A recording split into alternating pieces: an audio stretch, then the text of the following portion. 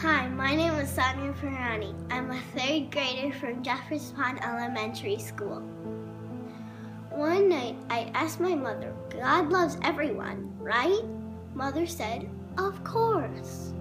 Why are some people extremely poor and some people are not?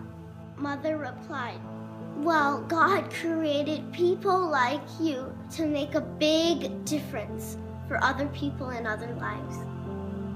Those words ignited a spark inside Sanya, and she decided to dedicate herself to helping those in need.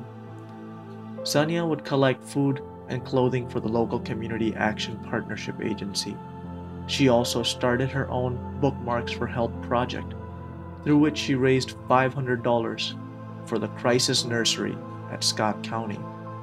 But her heart was not content, and she would soon go on to start the Reach for the Stars project with four of her friends. The funds from this project would feed one village of 100 people for an entire year. During a fundraising event, she met Mark Crea, CEO of Feed My Starving Children, who shared with her the story of a little boy named Nelson from a village in Latan, Haiti. Um, I, I, really didn't think he was going to survive the day. You know, we found him in the in the mud with the pigs. Really, the village would laugh at him and make fun of him because his mother, uh, having other three kids, would just take him by the arm and sit him on the ground uh, with the pigs and he would sit on his knees because he couldn't even stand. He was too weak to stand. And I know that that was uh, malnutrition yep. and rickets. And when I picked him up, I could feel every bone in his body mark, which is a sign of severe malnutrition. You can see his little arms are still yep. deformed with rickets right here. Sanya was captivated.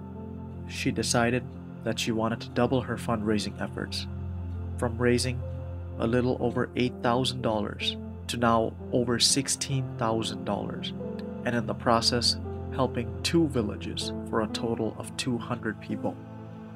Did you know that 6.9 million kids die each year under the age of five?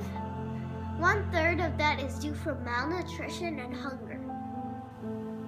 I strongly believe that every child deserves basic human rights like food, shelter, clothes, and safety. That's why I want to help poor people. Sanya has sure reached for the star in herself.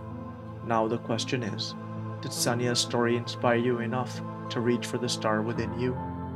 You can help Sanya's cause by donating using the link provided. We owe our heartfelt gratitude to Sanya Pirani for her magnificent work. God bless all the children.